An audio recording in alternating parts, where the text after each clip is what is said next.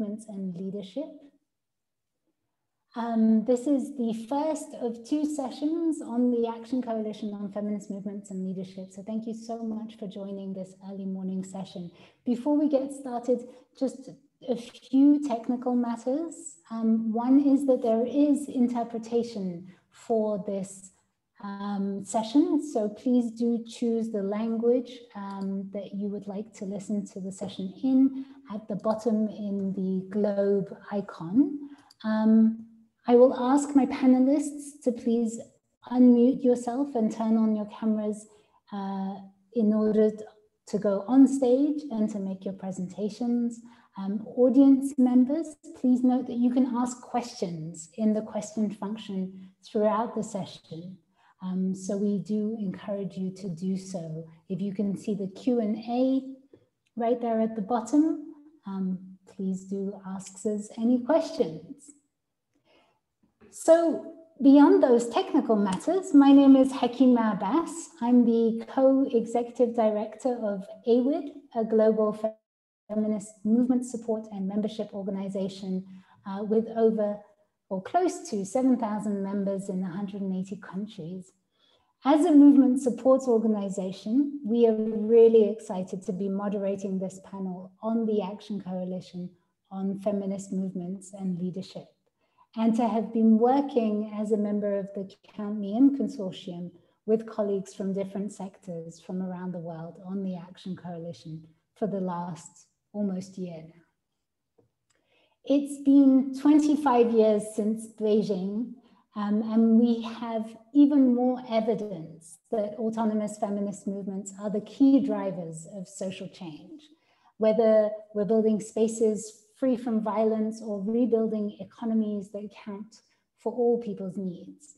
We have also, in this time of the pandemic, seen how game changing feminist leadership is in responding to crises. Yet, all of the data shows that feminist movements still receive a very paltry amount of funding. Um, and even more than that, the feminist movement and leaders at all levels are subject to violence, threat, and harassment online and offline. So, this action coalition is really important in that context. And the vision of the Action Coalition on Feminist Leadership and Movements is that, and I quote here, by 2026, feminist leaders and feminist led organizations and movements, including, including those led by trans, intersex, and non binary people, indigenous women, women and people with disabilities, young feminists, and other historically excluded people are fully resourced and supported to become sustainable, can carry out their work without fear of reprisal, and advance gender equality, peace, and human rights for all. So we hope that today's session will add to building momentum and energy around that vision. Before moving into the panel discussion with these wonderful leaders of the Action Coalition on the contents of the draft blueprint, which is where we'll start, we will then have uh, a panel. We'll have about 25 minutes also for uh, Q&A from the audience. So please do listen deeply to the speakers and start thinking about your questions for them.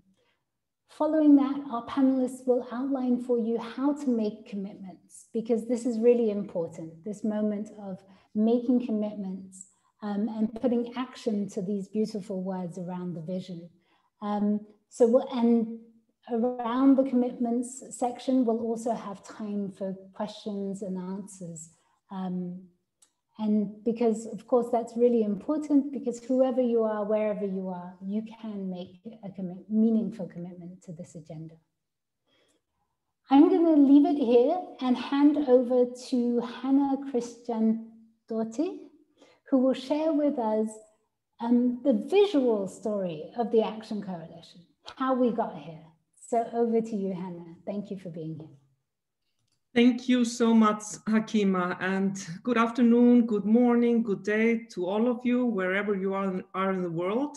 My name is Hanna Birna Kristjánsdóttir. I'm a co-lead of the Action Coalition from UN Women, uh, along with my colleague, Sarah Hendricks, and I am deeply honored and privileged to be here with you today. I would like to, on behalf of all of us, to thank the leaders of this action coalition that have done so much to make sure that they reach an agreement, that they, that they come to a conclusion. I know it's been quite a journey for all of you, but let me just say how, how privileged we feel to be small part of it and what an amazing job you have all been doing.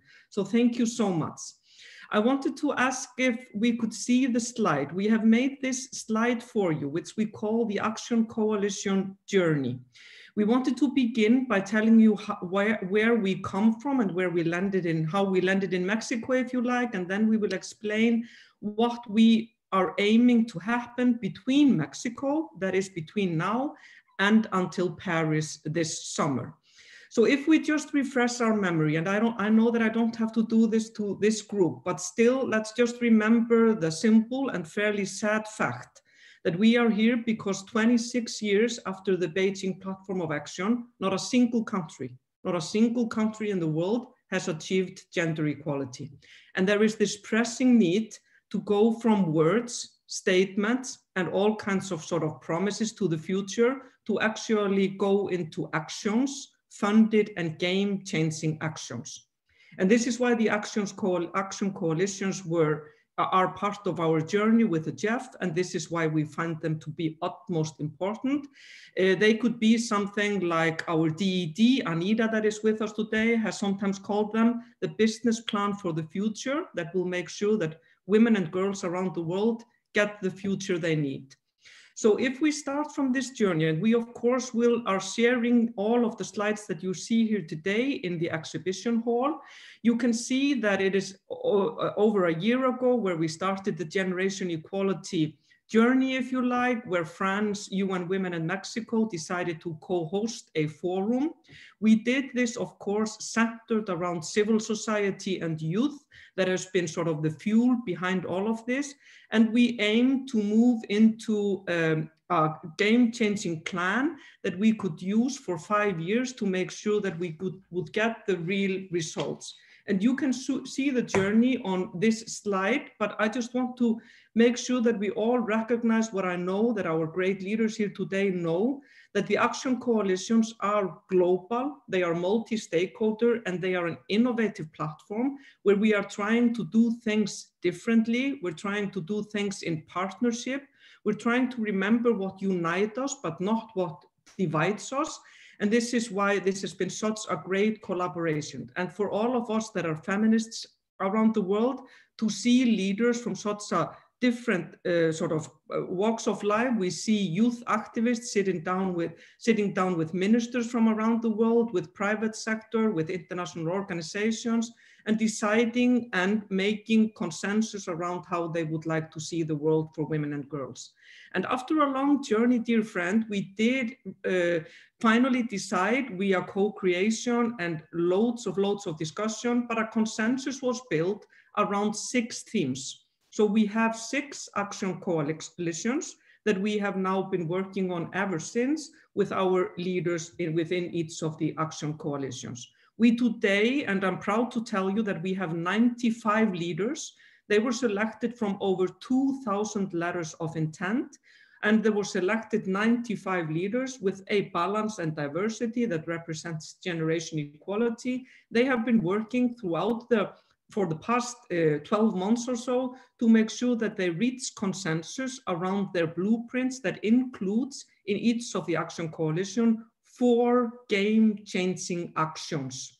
And this is what we are hoping will not only change the world, but also change the future for everyone involved. And this is why we are now proudly today in Mexico kicking off this great initiative with all of our leaders we are presenting our blueprints, we are presenting our acceleration plan for gender equality, and this is, can all be seen in the exhibition hall, and we are having these conversation as this one today, but also networking sessions along with Mexico to make sure that you all know what is happening within the action coalitions. And finally, I would just like to thank all of the ones that have been working on this with us, particularly Mexico, of course, and France, but also a special thanks go to the civil society and youth for constantly pushing us to do things better, differently, and in a co-creational way. Uh, and then I will come in later to make sure that I will also tell you about how we see the commitment making going uh, in the same direction, but over and out, Hakim, and thank you so much for giving me the space to introduce the journey. Thank you. Thank you, Hannah, for that exhaustive overview of the journey of the Action Coalitions. It's my pleasure now to introduce Anita Bhatia, Deputy Executive Director of UN Women, to give us an overview of the Action Coalition program of work. Over to you, Anita. Thank you very much, uh, Hakima, uh, and good morning, good afternoon, good evening to everyone. I'm so delighted on behalf of UN Women to be with you here today and to just say a few words uh, to kick off the discussion. Um, I am really pleased that we are kicking off this morning with a topic which is very dear to my heart and of fundamental importance in the post-pandemic world. As Hannah laid out so eloquently, this has been quite a journey.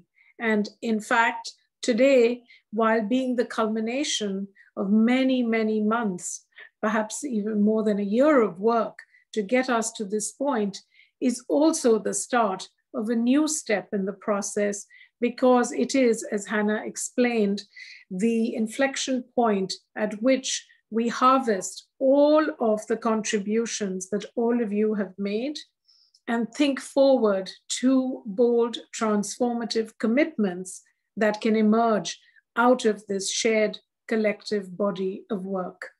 I want to say just a few things uh, about why this topic is so very important today. First, because we have seen that the pandemic has actually set us back quite a bit, and that although last year was supposedly the year of celebration of 25 years of progress since Beijing, it actually became the year of understanding how little had actually been achieved in 25 years, how much more needs to be done, and how profound an impact a one time event like the pandemic is having in terms of moving us backwards, which requires us to really think about bold action in various ways. The pandemic, ladies and gentlemen, has affected women's income, it has affected women's health, it has affected women's security in ways that were unforeseen. It has affected income badly because so many of the sectors that were hit by the pandemic are heavily feminized sectors, sectors such as retail, tourism, domestic work. It has hit health, because access to life-saving reproductive health services and contraceptive services fell during the pandemic because governments appropriately pivoted to solving the public health crisis. And it has sadly affected women's security because we saw an exponential rise in violence against women. These impacts are profound and they must be addressed. And the fact is that women's voices, women's leadership, feminist leadership has been crucial to make the world aware, not just of the impact of the crisis, but of the structural issues, underlying systems that led to the crisis in the first place. Had we implemented the SDGs, we would perhaps not be in the position that we are today but it is our collective failure to have advanced fast enough on the SDGs and fast enough on structural changes that have put us in the position we are today. So given that we are at a crisis point and at an inflection point, how are we going to use this opportunity to really move forward in a bold and transformational way? That, ladies and gentlemen, is the opportunity at hand feminist leadership has been fundamental, whether it is in Belarus or in Beirut, in Sudan or in Myanmar. The face of holding up democracy today is that of a woman. I am struck every time I look at the news by how much the face of courage and leadership today is that of a woman. The face of the pandemic has been that of a woman. The face of our way out of the pandemic will be that of a woman. The Bertolt Brecht play, Mother Courage and Her Children, comes to my mind all the time when I am looking at pictures of what is happening in the world today. Mother Courage fought against war. Women today are fighting against the structural inequities that are holding us back. I am so proud of the work that has been done in this coalition to bring to the fore key issues. And now a few words on what those issues are. The Action Coalition has formulated a roadmap that includes bold, practical, and exciting actions, which will galvanize around uh, key themes and ensure that feminist organizations and movements are fully resourced and supported. As you may know, UN Women has a huge network of women's organizations that we work with. And one thing that has become crystal clear in the pandemic is that these organizations have been decimated in many parts of the world. So I'm so glad to see that part of the conversation today is going to be with partners who are in the position to make substantial decisions on how to keep feminist movements alive. Ladies and gentlemen, the financial frailty of the feminist leadership movements cannot be overestimated, cannot be underestimated because this is something that we actually need to pay attention to. It is not enough to say that we need to ensure feminist leadership movements are kept alive. It is important to walk the talk and actually fund them to make sure that they have a chance to survive when there are so many threats to their very existence, whether it is from anti-democratic forces and popularly elected dictators, or it is from the fact that funding is going to other things today. Whatever the reasons, we must work collectively to preserve feminist leadership and ensure that it is able to play its rightful place in helping us all to build back equal. Let me end again by echoing Hannah's thanks to all of you for your hard work and just to say that I trust you will have a very stimulating discussion and I look forward to hearing that. Thank you so much. So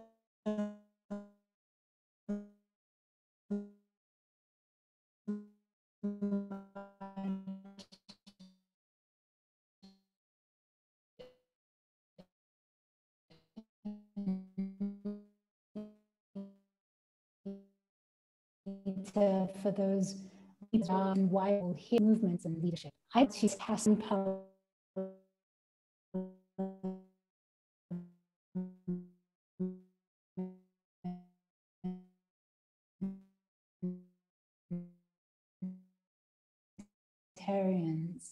Um, to achieve in five years from now. Over to you, Cynthia.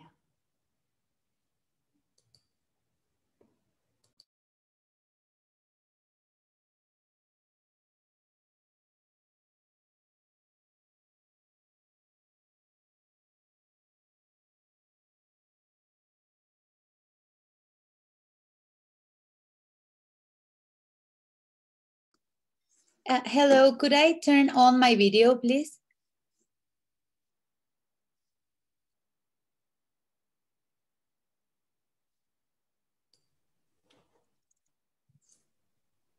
It's somebody help Cynthia turn. Cynthia, you, you start to speak and uh, it will turn on. You, you just uh, yeah. start. Thank you. Uh, thank you so much. I am pleased to join you today for this important discussion. The Interparliamentary Union is very privileged uh, to be co-leading uh, Generation Equalities Action Coalition on Feminist Movements and Leadership together with the UCLG and many others. So our action coalition's visions combine two uh, main aspects. First of all, promoting inclusive, strong, and well-resourced feminist, women-led, and girl-led movements, and achieving uh, gender parity and feminist leadership, which is one that ensures the full and equal participation of women and girls in decision making and is able to drive gender responsive laws and policies and budgets. These two aspects are strongly connected, not only do women and feminist movements provide a much needed uh, push for a, a feminist agenda, but they also provide a pool of new young women leaders. So the IPU data shows that throughout the world, only 1% out of four MPs are women, and only 1% of MPs are young women under 30. So we know today that gender parity is possible where there is political will. So in 2020, parliaments with legislated quotas elected nearly 12% more women than parliament, par, that parliamentarians without. But electoral quotas is just one step. We need gender sensitive institutions and enabling environment. So this means having a critical look at institutions that had been male dominated for too long. At the IPU, we have developed a plan of action for gender sensitive parliament, which provides a roadmap to making institutions gender responsive. This includes gender parity in leadership positions, but also having a clear mandate, dedicated mechanisms, and the necessary resources to integrate a feminist lens in, in all aspects uh, of, of their work. So women's um, parliamentary caucuses, gender committees, and other such bodies must work hand in hand with civil society organizations to advance feminist policies. This is particularly important today if we want to build back better. Finally, we need to make the political environment more favorable to women's participation, including online. IPU research showed that 85% of women MPs have been subjected to intimidation, harassment, or violence of some sort.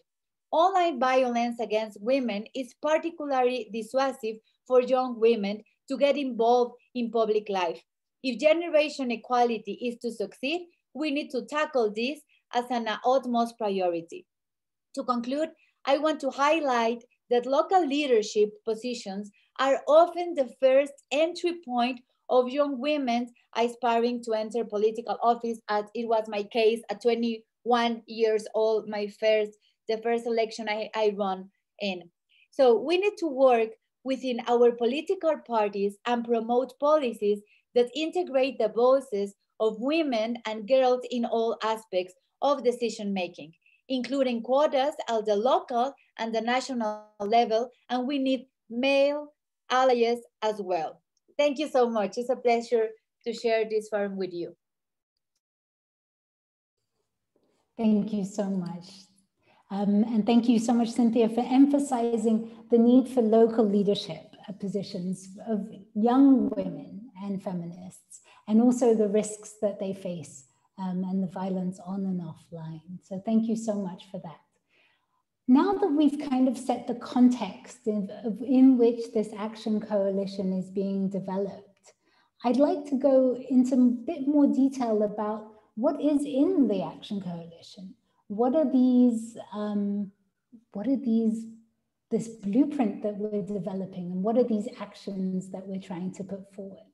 So for this, I'd like to turn to our esteemed colleague from the government of Malawi, um, Her Excellency Dr. Patricia Kaliati, um, to talk to us a little bit about the principles of the Action Coalition. What have we identified there for the realization of our vision?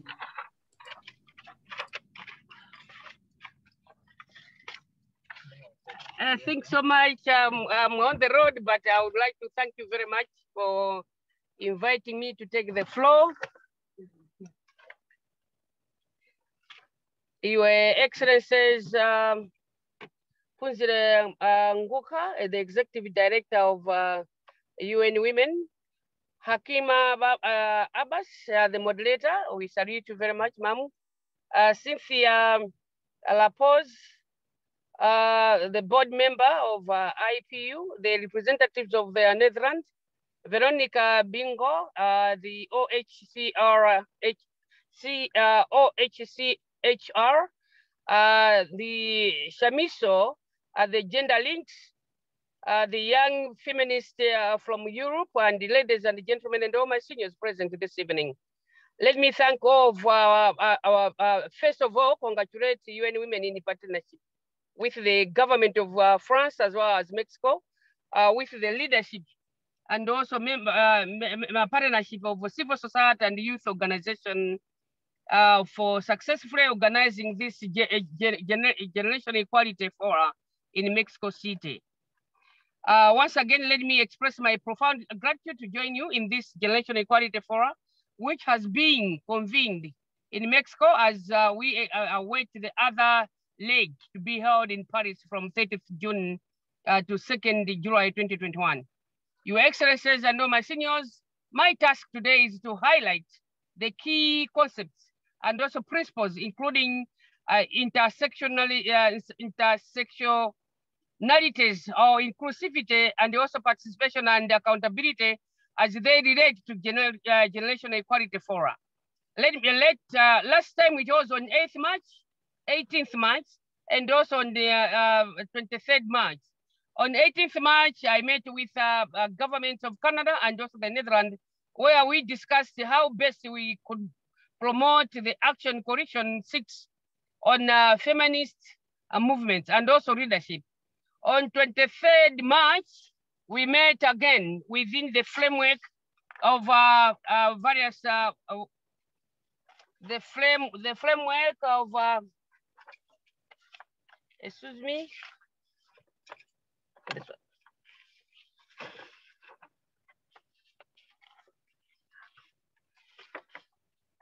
Action Coalition 6 and later on the same day, we discussed issues concerning adolescents, girls and young women.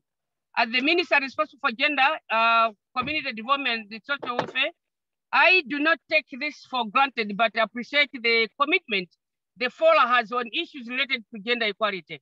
In fact, this is what we are looking forward to see that if we've been challenged for a number of years as your ministers and your as, as your parents and sisters, we are looking forward to be guided by the uh, generation equality and see what is it that you are looking forward for the nation to be like. What is it that you are looking for for the member states to do for you? What is it that you are looking for for the United Nations to do, uh, the UN to do for you?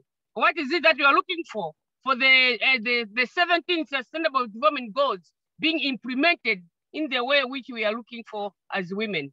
This is so paramount, and we thank you very much.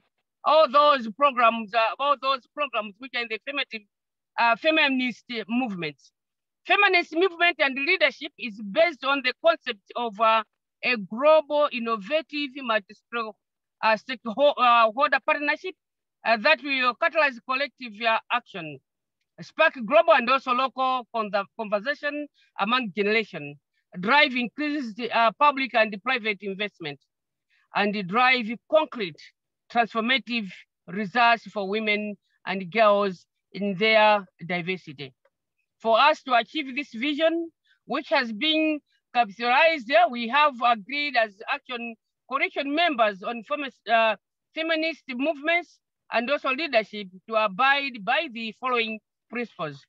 One, we recognize that women and girls are not a homogeneous group and that the vying circumstances and conditions mean that diverse women and girls are located along axes of power in the various ways. We thus apply the principles of intersectionality and also inclusion. Two, as feminists, we are committed to a transformative, transformative agenda uh, for gender equality, which goes beyond the gender binary and includes those who have uh, historically been excluded from feminist organizations, such as uh, trans and in, intersexual, uh, intersexual people.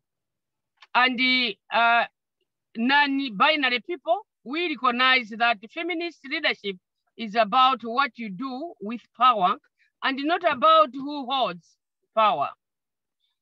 We recognize the invariable contribution being made by young feminists and the young feminist-led and also girls-led movements around the world and prioritize the inclusion of young feminists and girls. Your Excellencies and all my seniors, it is our dream and vision that by 2026, organizations and institutions in all sectors practices accountability for their com commitments to gender equality and human rights, provide and increase support for feminist movements and organizations that's financial, legal, as well as policy, and practice feminist principles in leadership, shifting and also sharing power with historically excluded groups and also people, and promoting gender parity in all decision-making spaces. Let us use this global gathering and celebrate the power of women's rights and activism, feminist solidarity, and also youth leadership to accelerate the implementation of ambitious global commitments for gender equality in the UN decade of action as the world builds back better from, uh, uh, from COVID-19.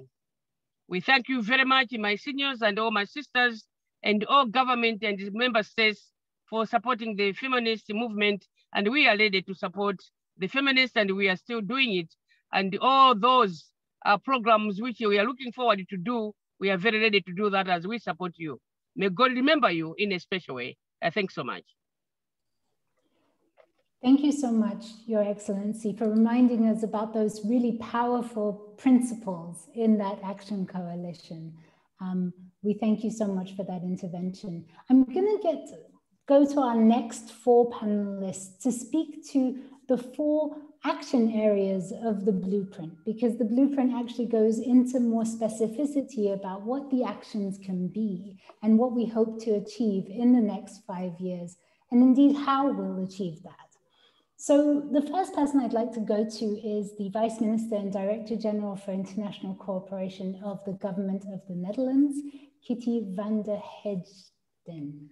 May I go to you? Thank you, Hakima. Uh, great to see you all wherever you are. Um, I think my video should be starting now. It does. And it's wonderful to really be here at the Generation Equality uh, Forum. And thank you all for organizing this because this is absolutely crucial for the future we want. Now, I think all of us here are here, whether we're government, business, NGO activists, CSOs, because we all believe faster progress towards gender equality is urgent, it is needed, and we need to take action now. And the COVID pandemic, which I call the, the, the crisis with a woman's face, only made that more urgent. So could we use the recovery of COVID uh, as a chance to finally chart that pathway towards a more equal future for men and for women? Um, isn't women's equal participation the game changer we need to achieve those SDGs? And how do we actually get there? And so this session to me really is about how do we make that happen together and how do we commit to action? That's the outcome we need. Now, let's be honest, I'm an economist by background. To get it done, we do need to take ABBA, as our guiding light. Remember, I mean, this may be a generational thing. Years ago, when I grew up, it was ABBA who sang, Money, money, money. Well, we do need to talk about money, guys. And that's what Action One really is about. Action One of this Action Coalition on feminist movement and leadership um, is the following by 2026, we need to double the global annual growth rate of funding from all sectors committed to feminist and women's led organizations, fund groups, activists, and movements in all their diversity. Now, how do we do that? Well, three things that we need. One, We need to increase direct, core, flexible, multi-year, sustainable funding, as Anita said, sustainable funding by raising awareness how feminist and women-led organizations are key driver of transformational change. It just won't happen without us. Two, by ensuring more equitable distribution of funding at different levels between organizations in the North and those in the South. And third, by investing more in tracking, monitoring, and reporting on all types of funding for gender equality and feminist and women-led organization. Now, money might be very important, but increased and better quality funding isn't a goal in itself, right? It's a means to an end. We need more. What do we need? We also need political leadership. And the previous speakers already mentioned, um, you know, the, the, fairly abysmal state we're in as a world community. Um, I think we urgently need to support feminist movement and women's led organizations to ensure that women and girls take their seat and claim their right. I mean, come on, only four countries in this world have a parliament that comprises of 50% women, four countries in the world. We're talking 2021. Uh, worldwide, 25% of parliamentarians are women. Women serve as heads of state in only 22 countries today. Well, we're 1994 countries. And 119 countries in this world have never had a female leader. And I am afraid my country is unfortunately among them. So if we continue at the current rate, gender equality in the highest positions of power will not be achieved for another 130 years. Now that means I won't see it before I push up the daisies, but unfortunately my daughter will not see it before she uh, uh, leaves this world. Your daughter won't see it. The daughter of my daughter won't see it. My great great grandchild won't see it. I think it's simply infuriating. 26 years after Beijing. So the lack of women's participation in society threatens to delay, obviously, the achievement of the SDGs, which promised women and girls full gender equality and all legal, social, and economic barriers to their empowerment removed. So we need to put our money where our mouth is. We need investments into gender equality and women's empowerment to be at par, and currently they're lagging behind the investments compared to most other girls. I mean, I find it still, you know, hard to accept that the share of ODA that contributes to gender equality, principally or significantly, is only 45% of bilateral aid, about a third for multilateral organizations, and 23% for private philanthropy, according to the DAC OECD. I mean, that's quite far from, at least in the EU, what the Gender Action Plan has uh, agreed to, which is 85%. So we're really, really lagging behind. Money does matter. I'm an economist. Money talks. Let's walk that talk. Um, achieving those commitments obviously is a very long-term endeavor. And for me, it's very important that we have support for locally generated change led by women and girls of the South it's up to the women and girls there to do it. It's up to us as donors to support them, to enable them. Four reasons why partnerships with women rights organizations and action coalitions such as these are so important. I'm almost done. Uh, one, women's right activism are clearly a key driver of legal and policy change. Nobody else will do it if women don't. Secondly, sustained progress towards gender equality will only be achieved if we start to question those entrenched norms and practices. And that requires a change in society that can only happen in society themselves. So Southern organizations will be key. Third, women's organizations are almost always the pioneers to design effective ways of advancing gender equality. And fourth, let's not forget that we have achieved tremendous progress and that as a result of that, we're also seeing tremendous backlash. Women's rights groups, feminist movements are a crucial antidote to the regressive forces that are pushing back gender equality gains and sexual and reproductive health and rights. Um, last statistics that I'll throw out there. Only 0.5% of total international aid for gender equality initiatives goes to Southern feminist organizations. Just imagine what that means. To me, 0.5% of international aid to gender equality initiatives going to Southern organizations, it's almost like adolescent sex. Everybody says they're doing it. No one really is. We're not putting our money where our mouth is. Um, so for me, it is absolutely important that we start to walk the talk. We put our money where our mouth is. We raise resources for gender. We fund the feminists and we select Southern partners.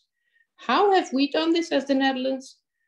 By realizing as part of this action coalition more political and financial support for women's rights organization, we committed between 2021 and 2025 80 million euros for leading from the South in support of Southern feminist organizations and 75 million to Power of Women to fund the work and the results of women's rights organizations. I hope that as part of the commitments we see, many others that are part of this uh, action coalition that are interested in really making transformational change happen follow suit because we are very late. We're 26 years behind. It's time to get going. Back to you, Hakima. Thank you so much, Kitty. Thank you for being so clear about the need and the urgency for funding feminist movements in the Global South, but also for better resourcing to feminist movements in the Global South. And thank you so much for bringing ABBA into the conversation. What would we do without ABBA? um, I'd now like to bring it to Veronica Birga of the Office of the United Nations High Commission of Human Rights. Veronica is going to speak to us about action two of the blueprint of this action coalition. Over to you, Veronica. Thank you. Thank you very much, um, Akima. And good morning, good afternoon, everyone. Um, my name is Veronica Birga and I work with OHCHR, the UN Human Rights Office. And OHCHR feels really privileged and proud to be one of the global leaders of this action coalition. And I'm very happy to be here today to present the current thinking on action two of the blueprint. So this action is about promoting, expanding, and protecting civic space across all domains, including online, and supporting the efforts of women and feminist human rights defenders and women peace builders, including those who are trans, intersex, non-binary, to defend civic space and eliminate barriers to feminist action, organizing, and mobilization in all its diversity. So this action is really about promoting, protecting, and expanding civic space for feminist action, organizing, and mobilization. But what do we mean by civic space? Civic space is the legal and policy space within which people express views, assemble, associate, and engage in dialogue with one another and with authorities with regard to issues that affect their lives, from you know, the quality of basic services to respect for fundamental human rights and freedoms. Today, unfortunately, uh, we are witnessing uh, uh, a closing or shrinking of civic space around the globe through laws, policies, uh, and practices that constrain the exercise of fundamental freedoms, such as the freedom of expression, peaceful assembly, and association. Peaceful protests are being cracked down on. Activists are often confronted individually and collectively with threats, attacks, surveillance, doxing, excessive use of force, arbitrary arrest and detention, enforced disappearances and killings. Defamation, lawsuits, and other forms of judicial harassment are also often misused to criminalize, monitor, and otherwise threaten defenders. And with COVID-19 and the introduction of emergency powers and broad restrictions, the safety and work of human rights defenders and social movements is at even greater risk. Now, although the closing of civic space affect all defenders and social movements, feminist movements and women human rights defenders face additional and specific obstacles and violations which are shaped by who they are, for example, women, girls, non-binary people, who they identify with or are part of, the feminist movement, for example, or what they are working on, for example, the human rights of LGBTIQ plus people or sexual and reproductive rights. According to the latest reports by Frontline Defenders and Civicus, women's rights and LGBTIQ plus rights are among the most targeted sectors of human rights defense. Now, the risks and challenges faced by feminist defenders and women human rights defenders are also obviously intersectional. For some, because of other aspects of their identities, such as age, religion, ethnicity, class, disability, sexual orientation, gender identity, sex characteristics, etc., the obstacles and risks manifest in distinct ways. Now, to transform this situation, we are proposing three main tactics. The first is to advance protection measures, policies, and enforceable legislation to protect the human rights and security of feminist activists, organizations, and movements. Now, this tactic encompasses ensuring that domestic laws and administrative practices protect defenders from discrimination, marginalization, hate crimes, and ensure the privacy of personal data, define clear limit for surveillance, avoid overly broad definition of who is a terrorist, for example, or of what represents a threat to public order or to so-called so-called morality or security, etc. this tactic also encompasses ensuring adequate protection policies for feminist defenders. And good protection practices should be designed with the involvement of defenders themselves.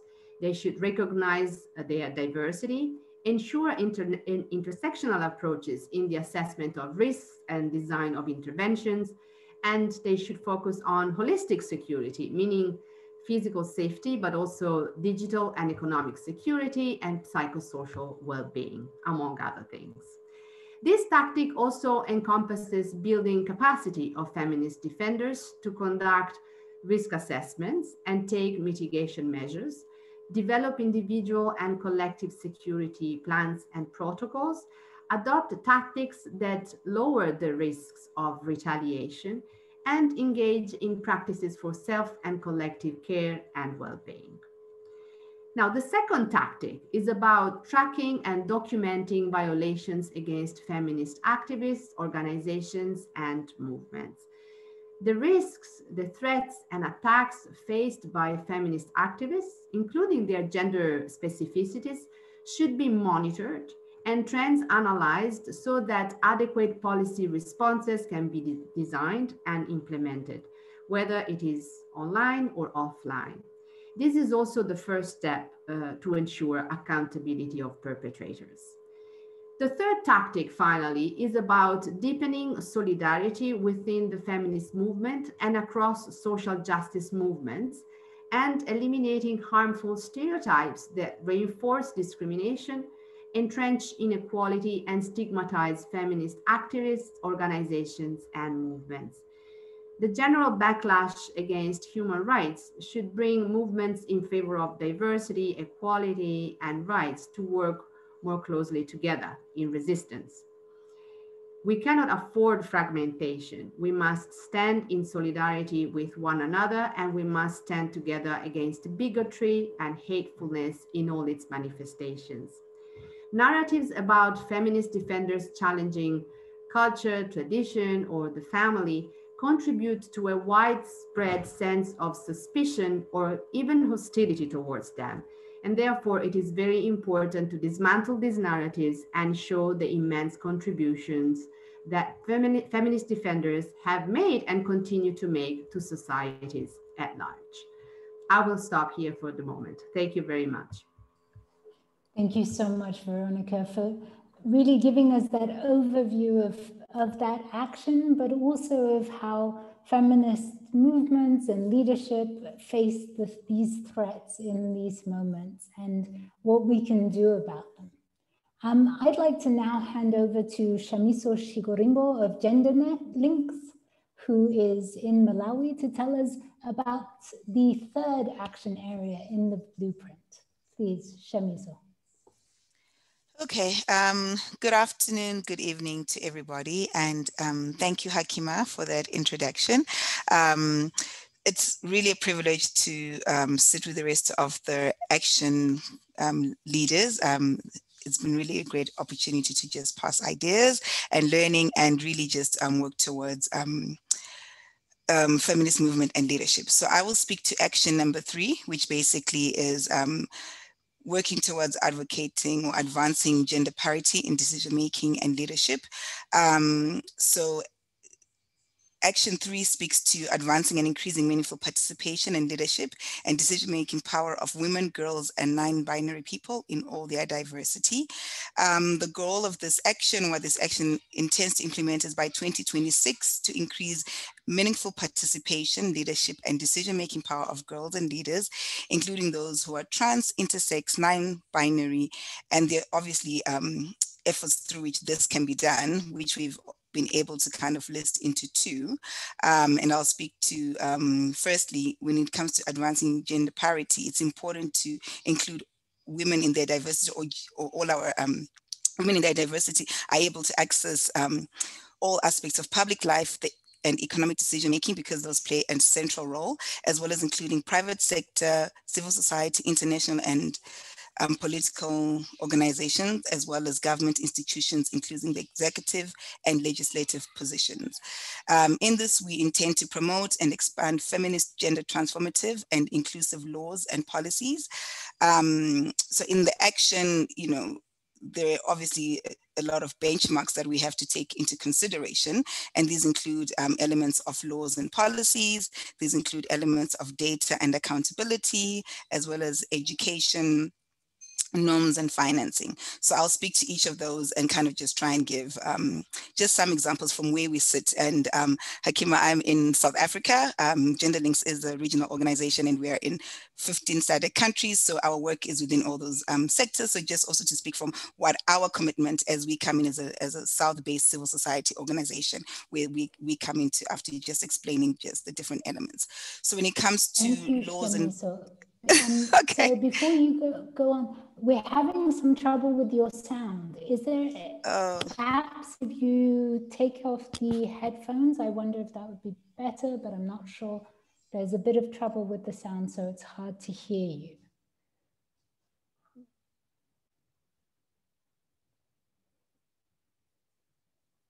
Could we try now?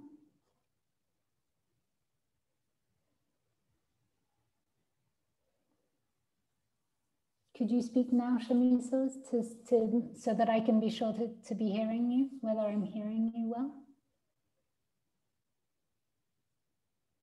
Okay. Unfortunately, we're not hearing you at all now.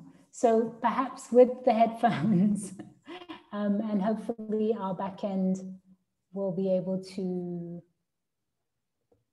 fix something. All right. Can you hear me now?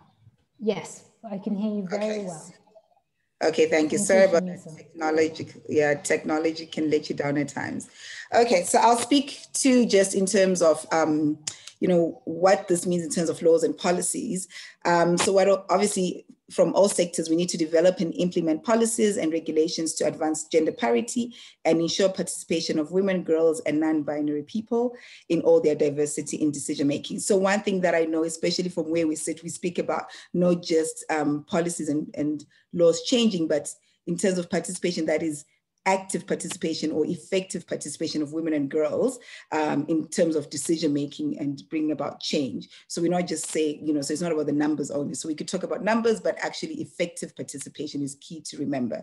Um, when it comes to data and accountability, we speak to conducting, to conduct and communicate intersectional feminist analysis, which includes analysis of data in preparation, implementation, monitoring of policies, budgets and laws. And this is really, really key. So, I mean, the one thing that we also speak to, especially um, on the ground, is just basically in terms of just um, disaggregated data. It's one thing to speak of disaggregated data, but what are the different layers of it? So usually people talk about sex disaggregation, but then people don't go on to speak of um, disability or just other forms of being an other.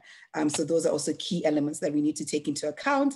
Um, what we also spoke of and we're discussing and deliberating is when it comes to education, you know, to just build on cross-sectoral and um, alliances and support mentoring, which includes experience and capacity sharing for feminists or with feminists with feminist activists um, and organizations, movements, and leaders, which will bring about encouragement and support of intersectional and multi-generational dialogue.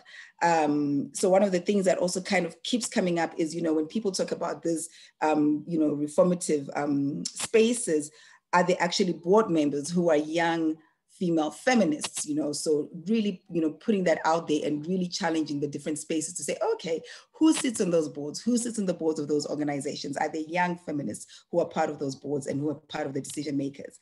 Um, as I continue, I'll speak to the norms and finances. So in terms of the norms, we speak of addressing um, harmful stereotypes and gender norms um, in order to ensure decision-making power and leadership for feminist activists and organizations and movements. And when it comes to financing, we speak to investing in um, gender mainstreaming and gender budgeting mechanisms in all levels of government, private sector, international organizations, civil society organizations, and all aspects of the economy. So I think the key is it's really, really important to speak of just, you know, um, what we normally use is a framework by Tenjo Mtiso, which is a conceptual framework in terms of just, you know, increasing women's participation in all spheres of, um, you know, of decision making um, areas of life, so to speak. So we speak to access, participation, transformation. So we, so in terms of aligning it with AC um, six and what we're trying to do in Action three, we're really speaking to access, participation, and transformation, um, and just really achieve, and you know, coming to a place where we can all make commitments and really achieve um, gender parity. But I'd also like to give just a few numbers, and I know my numbers will speak mostly to just um, women's representation, political representation. So one thing to keep in mind, which is also from the IPU um, website and research, is just that in terms of young female um, MPs that are under 30, globally, the ratio stands at 60 to 40 men and women. So they have, you know, women sit at 60%. And then of that, um, of that um, ratio, 2.2% um, are under 30. So of course, you know, the youth involvement continues to be a big element and also just in terms of the gender parity and um, effective involvement of women is also a key issue. And then in terms of just um, commitments to consider, so um, in the blueprint, you will, of course, the document will be shared as we make, you know, as we prepare for Paris, but um, just some of the potential commitments that we kind of, you know, put out there are, you know, for one, um, is organizations in all sectors commit to collect intersectional age and gender sensitive poverty data that includes data on women and groups who have historically been excluded. And that falls under the data and accountability, which I think is really, really key if we're really, you know, wanting to make a benchmark and move forward. Hakima, I kind of lost track of time, so I'm not sure how many more minutes I have and I wanted to continue. Unfortunately, we, we are at the end, Shamiso, but um, okay. do, do you want to wrap up your last point?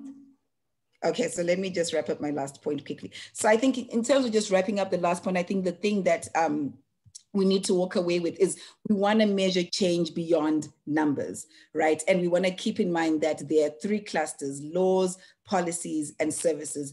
And, um, you know, just things to remember as, as things like, you know, we need institutional participation and to ask the how and the what. And what does transformation mean? How do we get women's agency out there? And how do we get to change minds and attitudes, which in, in effect will change laws and services? So yeah, thank you very much. And that's it from me. Thank you so much, Shamiso.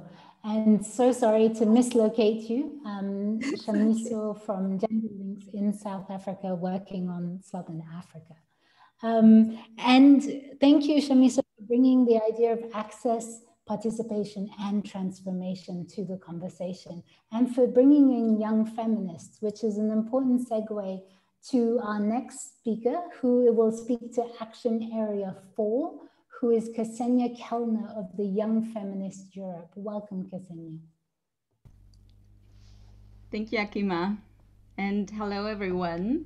I'm very um, happy to be able to speak to you today. Um, I'm Xenia Kellner. I'm a co-founder of Young Feminist Europe. And Young Feminist Europe is a young feminist-led organization and we are part of the yeah of this action coalition and try to bring in young feminist voices and um, leadership as well um, and I'm going to talk to you a bit about the uh, different actions that we have, uh, well, action item four that we have um, that focuses on young feminist and adolescent girl um, led um, organizing, putting them in leadership, and the different tactics we have for that. But uh, also to say, I think um, young feminists bring really um, transformative power into these spaces. So if we want to achieve the vision and um, of the 2030, the goals of the 2030 agenda, the Beijing Platform for Action, and um, really wanting to change systemic inequalities, uh, we need to move beyond this just bringing young people, young feminists, different diverse groups in and just increasing diversity. And we really need to move towards transformation, which means we're not just there to be um, participating in something that's already there, but we really ask to do things differently. So sometimes it's um, it's really also about yeah asking people to. I think that's what we've what we've been asking a bit uh, more is um, yeah leaning into this uncom- feeling of being uncomfortable with doing things differently, um, making spaces more horizontal, more participatory. And um, I think the challenges that I'll be speaking about for young people is not just um, that we address them through the Action Coalition, but also within the Action Coalition, because um, some of you might be aware that the Action Coalition youth leaders, um, the young, yeah, the youth task force, as well as um, the National Gender Youth Activists and some other uh, young feminists have been developing the Young Feminist Manifesto for the GEF and have some really concrete recommendations for the action coalitions as well, which includes also changing some of the processes.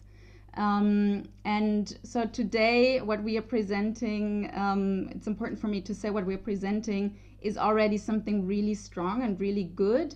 But still, um, we need to, um, after Mexico, even, that's when we engage with everyone else, um, take a look at what is still missing and how can we improve um, the process, which includes applying an intersectional approach, which includes more transformative design that, um, yeah, is also directed into individual transformation and relational transformation.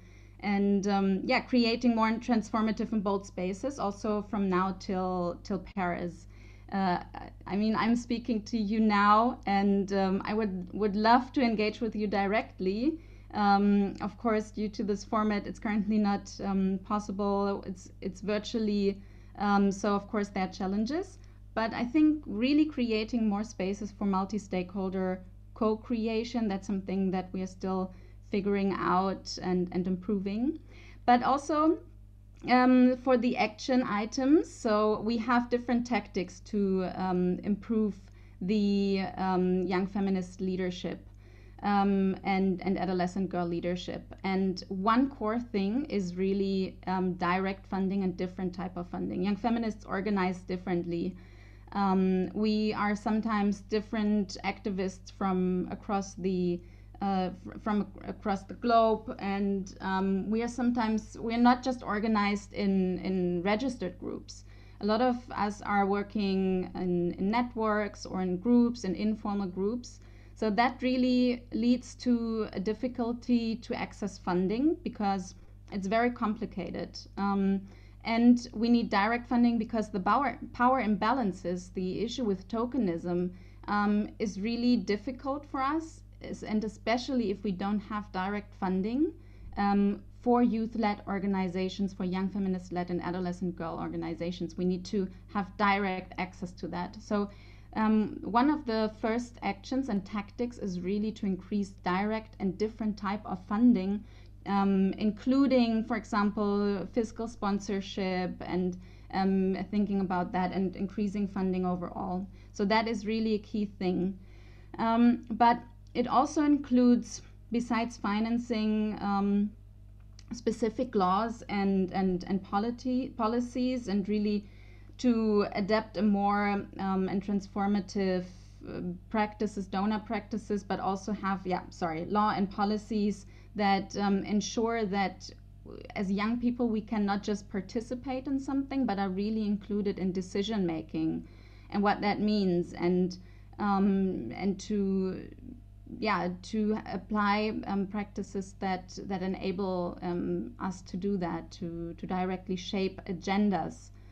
Um, but um, furthermore, we for that it's also important to collect data and to create accountability frameworks. Um, sometimes when we talk about youth and young people's engagement, um, there is really a lack of accountability, and we need to have better and more and more detailed disaggregated data, but also specific data on, on how youth engagement and decision making is, is, is taking place. And the third um, thing to mention is education and, and capacity building slash strengthening.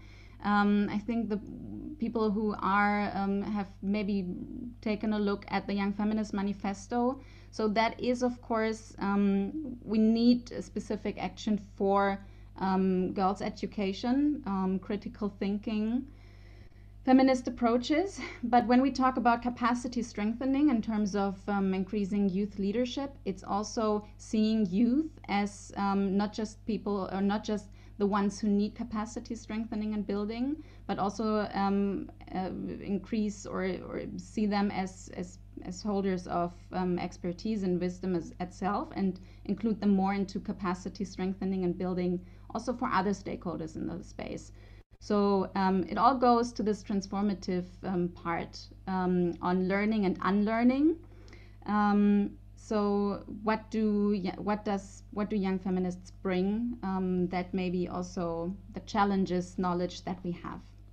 Um, yes, as a last point, because uh, sorry, Hakima, I know we need to move on. There will maybe be other options, but it was important for me to mention when we talk about now that we are talking about feminist movement and leadership. In the beginning, we mentioned how important feminist leadership and young feminists are in the movements, also challenging the um, feminist movement from within.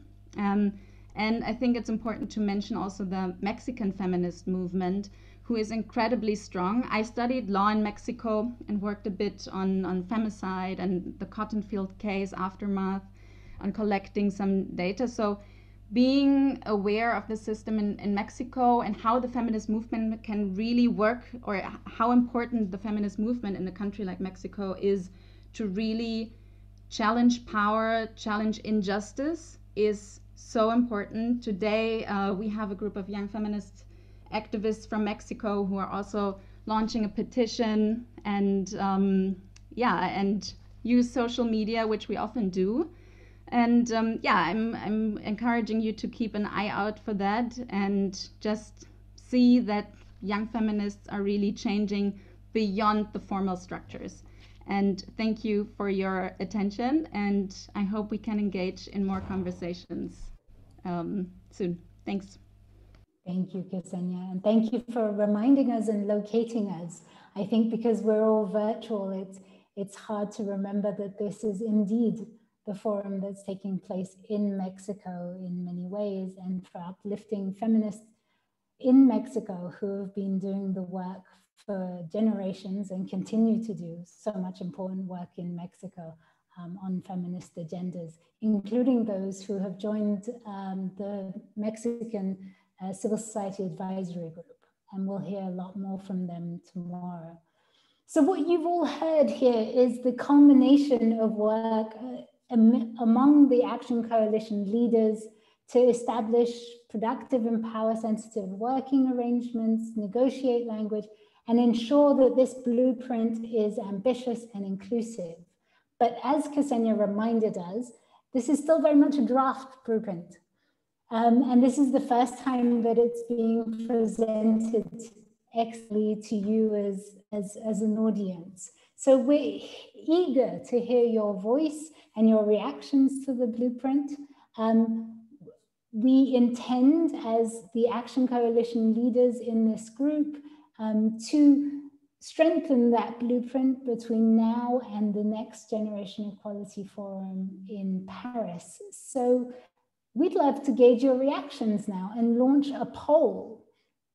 I will turn to my technical colleagues to launch that poll for us. The first poll is what action statements that you heard do you feel most energized around?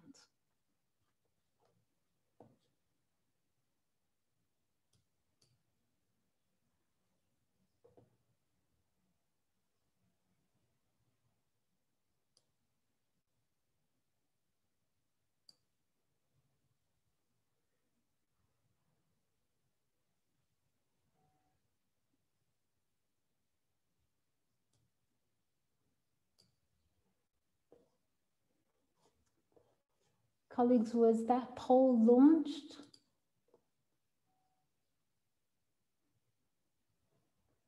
Fantastic.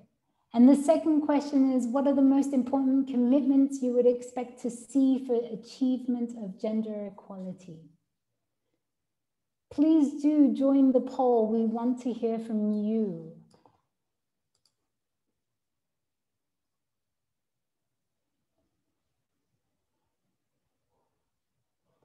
After the poll, we will have some time for questions from the audience before we go into what does making commitments look like and what is the commitment maker model. So if you haven't voted, please do vote now on your screens and we will close the poll. I will be able to see the results.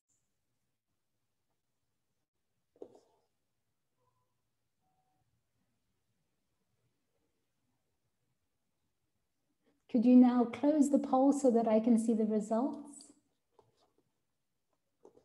Fantastic. Thank you for voting. Uh, we have the largest percentage is in terms of which action statement did you feel the most energized around was around the financing feminist and move, women-led movements. These that got a resounding 38% of votes, while the advancing gender parity and decision maker got 30%. Um, what are the most important commitments you would expect to see for gender for achievement gender equality? The lead answer on that is substantially increased funding of feminist and women-led organizations. So that really matches what we're hearing in both questions in terms of the need for financing of feminist and women-led organizations. So that's a resounding kind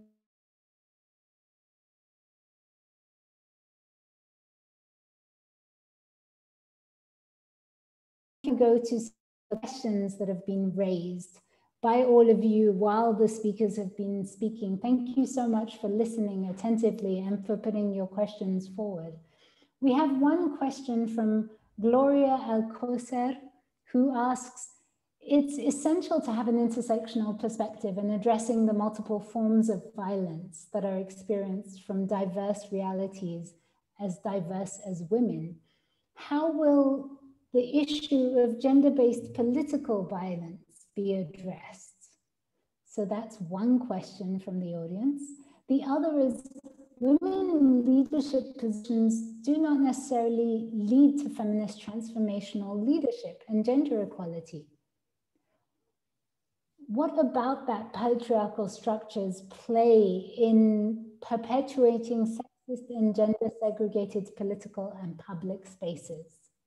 So can I ask all of the panelists and speakers to come on video here and to let me know if any of you want to answer these two questions that we have from the audience, which seem very important and particularly directed around the issue of gender-based political violence and how we move from women in politics to feminist uh, leadership.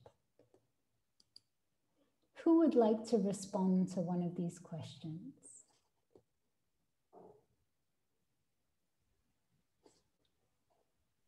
Cynthia, while I have you here, could you jump in perhaps on the political violence? Because I know that uh, IPU has done some really important work in this regard.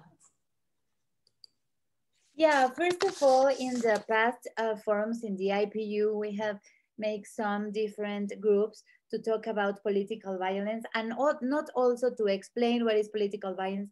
Uh, it, so we can expose what we have lived uh, in the political violence as our testimony. So most of us, uh, I think like most of the of the politicians, the older women, uh, we have suffered political violence in any part of our life. Uh, in my case, when I was running for an election, I was like 25 years old. Uh, I suffer a political violence.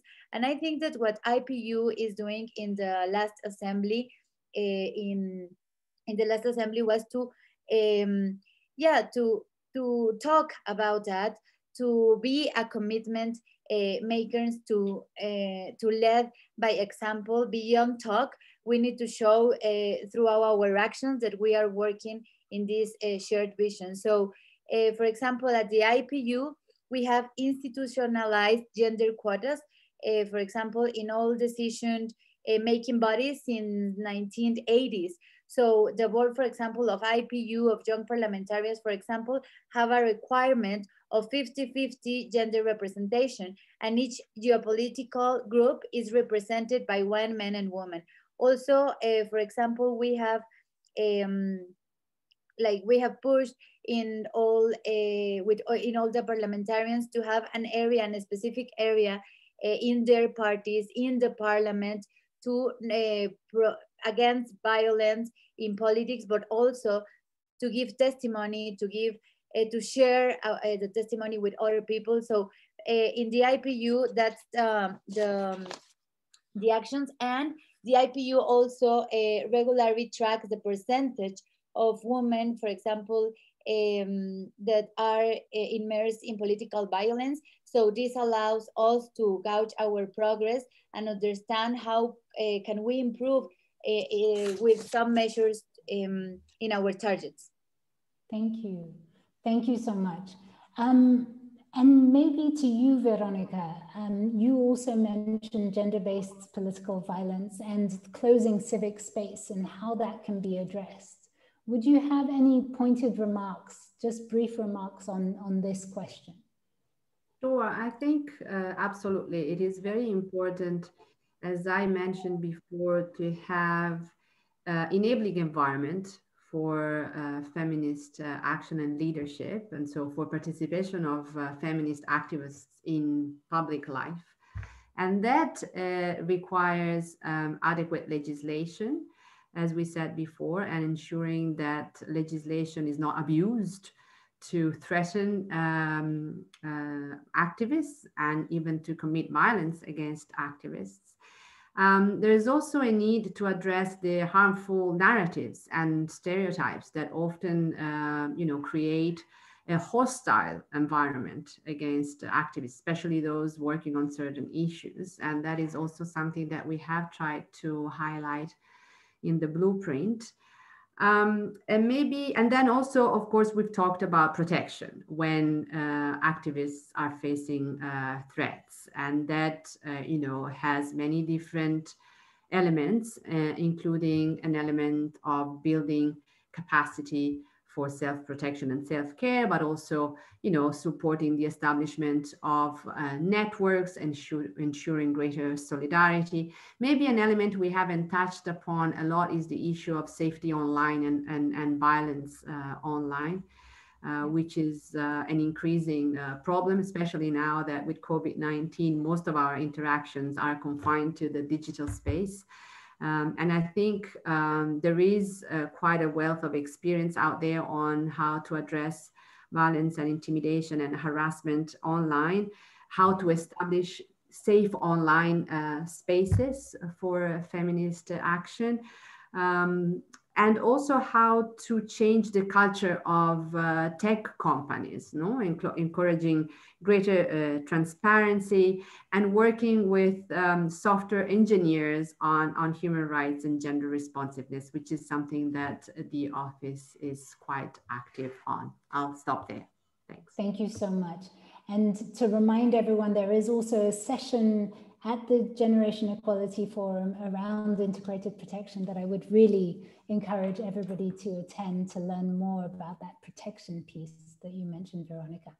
Um, Kitty, Xenia, and Shamiso, we do have the question, which I know as feminists we get asked a lot, which is more women in, in government or in leadership doesn't necessarily um, equal transformative leadership or even feminist leadership. So how, what does that look like and how do we actually address the patriarchal structures that uphold some of these systems? I know it's a big question and we don't have a lot of time, but if you could just maybe give some brief response to that question. Okay, so I think one thing that also kept coming up um, when we were going through the blueprint was the issues of capacity. So I think we're capacity build, you know, capacity building for for women in those spaces, right, so that they their lives are transformed and they're able to actually challenge the patriarchal structures, right, because there is a glass ceiling and they absolutely um, you know, you don't go in there and you're able to actually bring about the change and the reform that you want. So I think the things that definitely did come up was the issue of capacity building and the mentorship, because then you align, um, you know, women in those spaces to actual, um, you know, to, to transform their lives in a way that they're able to bring about the effective change. So, which is why, I mean, even when I spoke about like the participation, one thing that we keep speaking about participation is the effective participation. So one can talk about all women's participation in all the spheres. So they could be board members in private sector, but not having effective, you know, not being effective in that space. So, I mean, I think in terms of the blueprint, we definitely put in place, um, you know, just some elements in terms of how we get, you know, get transformation and change. Um, and indeed, absolutely, women could be occupying those spaces, and it doesn't necessarily mean policy change or changes to law, and that's absolutely true. Yeah. Thank you, Shamiso. Does anyone else like to take this question? Yeah, thank you, Hakima. I love this question. It's one of my favorites. Um, I think it's, and we discussed it a lot. Um, there's really this difference between female leadership and feminist leadership, right? So female leadership, of course, uh, is a very important uh, tool, and I think we need more um, women in leadership positions. We see how it, it how it does automatically have a transformative effect in a way, but still increasing um, diversity, as I mentioned before, which means just bringing people in in a current system or, or women into political positions or um, does not necessarily mean transforming them. So when we talk about feminist leadership um, in comparison, it also um, means really a different type of leadership. It means um, taking a look at systems of inequalities, and that's what the 2030 agenda is is about, and um, is really taking a look at the systems and, and challenging current power structures. It means um, challenging current epistemologies. How do we um, how do we uh, how do we produce knowledge? What is I, maybe to the point of capacity building i think that's always um, also between what type of capacity are we building maybe responding to you um, do we do we uh, design it in a way where we need to learn about how the system works and saying like empowering women or um, would it rather be a, a, different type of capacity building and see that maybe we need to also unlearn things, as I mentioned before, and not necessarily like, really differentiate the type of capacity building then? Um, but yeah, feminist leadership challenging power structures, power inequalities, leading more horizontal. Um, I think that's very important. And uh, I think other people also wanted to come in. So I think this is a conversation yeah. we need to continue uh, as well. And yeah, thank you. Thank you so much, Xenia. Can I go to Kitty and then Cynthia? And then we're going to close this round of Q&A and just go to our commitments, because again, that's where we turn these words into action um, before we go to the next round of Q&A. So don't worry, there will be another time for your questions to be answered. Um, Kitty, over to you. Uh, thanks, Hakima. And of course, you know, talking about money, this is the million dollar question, right? so um, let me first underscore very much what Xenia said. There is a huge difference between female leadership and feminist leadership. These are not the same. Uh, and they're often seen because you are a woman that therefore you're a feminist by outsiders. Well, definitely that's not the case.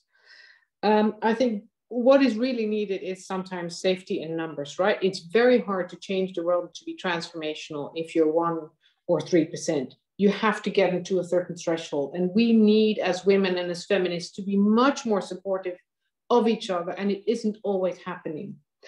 Um, there's two things for me that are incredibly important. If we talk about uh, sort of um, uh, challenging the norm, changing the norms, we can't just do that ourselves as women and as feminists. So for me, incredibly powerful is if men speak out uh, at the senior leadership to challenge those norms, to change the norms, to give up their seats and their power to women. It doesn't always happen easily, but that is where real change will happen. Second, I mean, one pathway to change, again, money talks, maybe I'm too much of an economist, uh, but is really looking also at the power of the private sector. If the private sector, re- and I can see this at least happening at, at some point, uh, and with some companies uh, here in my environment, that really take women leadership and feminist leadership seriously, um, it's much easier to interact with the politicians. And so it comes from a different source. It's unusual suspect, and they're able to unblock things that I, as a as an NGO leader, would not have been able to do, for example. So really looking at the private sector also to come out, to speak out, and to become much more drivers of feminist change and policies uh, would really help us uh, move things forward much quicker than we would be able to do ourselves. So I hope that the private sector that's listening in takes up the challenge. Thank you for that, Kitty. Last intervention from Cynthia, and then we will go to the commitments. Uh, well, thank you so much. I would like to give some good news that is, for example, in Mexico now, that is, well, is my country. I, I actual uh, congresswoman uh, in, in Mexico uh, Congress. So it's like we have parity. It's the first legislature of parity in Mexico. Uh, we call the 64 legislature and it's the legislature of parity because of 500 we are 241 uh, women. So it's historically that we did it. Yes well uh, what we suffer uh, still is that the coordinators still are men. The decision making leaders are, are male.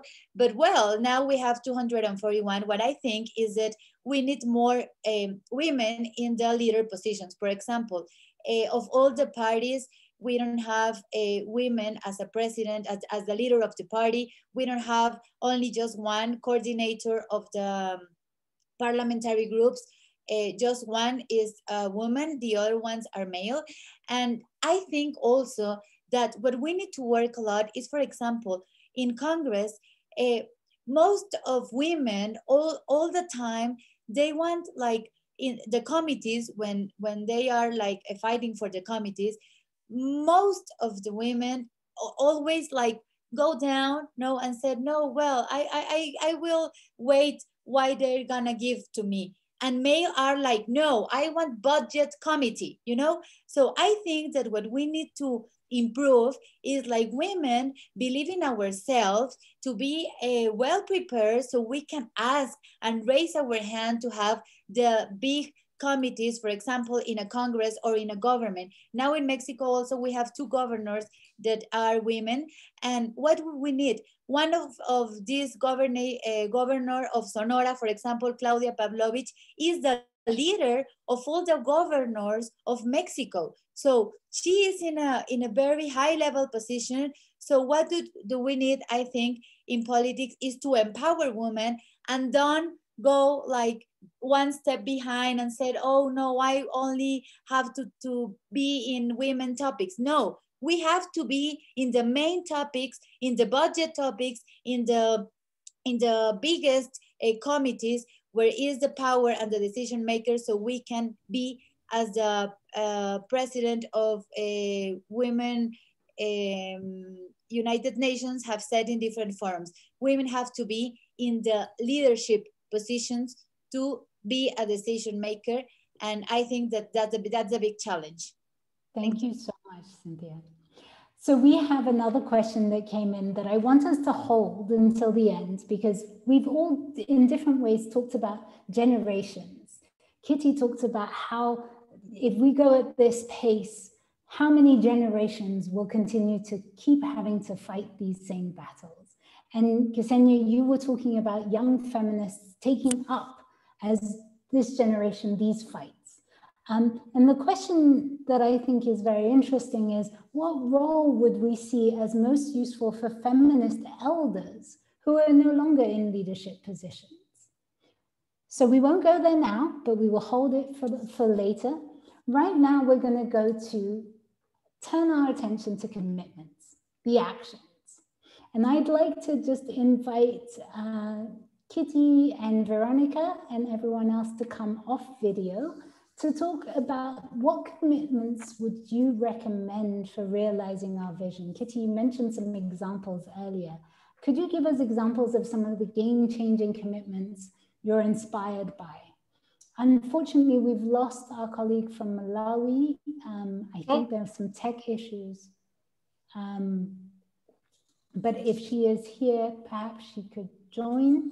Um, but I would invite, yes, Kitty and Veronica and maybe everyone else to turn off their video while you respond to what commitments would you recommend for realizing our vision?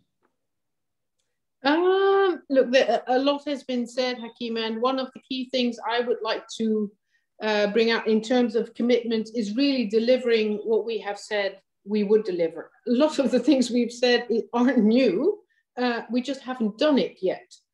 And when it comes to feminist organizations and how we work with them as donors and as partners and as multilateral organizations, really looking at the power, unlocking the power of Southern feminist organizations, I think the Leading from the South uh, program that we as the Netherlands have established really to fund feminist organizations in the South would be a great example that requires you know, to be multiplied a hundredfold, to be upscaled, because honestly, we cannot achieve any of our goals if we keep doing what we do. And I can't say it as well as a male colleague has said this, um, Theo Sowa from the former ED from the African Women's Development Fund.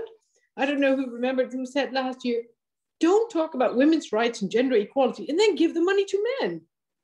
But unfortunately, that's what we do. So, right. So that commitment, and then you know, if we do that, let's not forget it's a 0.5% of international aid that currently goes to Southern Feminist Organization. Now, just imagine what would happen if that would uh, increase to 50%. And so, inspired by Michelangelo, um, he once famously said, The greater danger for most of us lies not in setting our aim too high and falling short, but rather in setting our aim too low and achieving the mark. Now, when it comes to gender equality, our ambition simply cannot be high enough. Um, so that's one thing. I think there's an incredible opportunity in the COVID 19 crisis to build back better and really to look at inclusiveness and look at a feminist perspective of policies writ large, domestic and international. And let's not forget that, you know, they've often said never waste a good crisis, that the women's right to vote was born in the First World War because all the men were away and women felt that they could fend for themselves. We don't need men, right? To really look at this as an opportunity and keep fighting for it because it's in the next two years that we either achieve it uh, and make that transformation, seed uh, of that transformational change. Um, I do think, and that's an incredibly important part of the commitment, that this cannot just be done by either feminist organizations and or government. It really requires a multi-stakeholder engagement. I can't remember who said it. It's multi-stakeholder co-creation that really will drive this commitment to material, tangible results for women and girls that need it uh, worldwide. And again, I think you know the biggest the biggest commitment I would ask from everybody is really to deliver what you say you aim to deliver, and when you deliver, think big. Think not not 0.5 to 5 percent think not 0.5 to 50%. Your ambition cannot be high enough. And we can all make it happen. So what's keeping us? Back to you. Thank you so much. Indeed, what's keeping us? Uh, Veronica, what would you say in terms of recommending commitments and examples of that that you've seen? Thank you. Um, I agree with what Kitty said. Um, and I think it's important for all of us also to self-reflect you know, on the commitment we can make and the approaches we take. And I was looking at the chat and the questions, and there is a lot of emphasis on intersectionality. And I think we all need to commit to intersectionality, not just being a vague concept or something that we uh, commit to without really understanding what it means, but really uh, unpacking it and making it one of the guiding principles of our action and, and, and commitments. And also, I think it's very important that whatever commitment we do make, um, we really strive to engage with grassroots uh, organizations and at the grassroots uh, level. Now, when I um, go back to the area that I was talking about before, the area of, of, of civic space and ensuring an enabling environment for feminist uh, organizing and action, I think, you know, it, states, for example, could commit to reform and repeal restrictive and punitive laws, um, such as those that I mentioned before. States, international organizations such as the UN, civil society, um, can commit to um, strengthen um, protection mechanisms concerning civic space with attention in particular to the demands and experiences of feminist activists and movements um, another example, um, you know, organizations from all sectors, such as national human rights institutions, the UN, regional organizations, uh, international civil society organizations, the media can commit to monitor, document, and report on threats and attacks, violence against feminist activists, organizations, and movements. This is very important, not only to inform um, you know, adequate responses, but also, as I said before, for uh, accountability.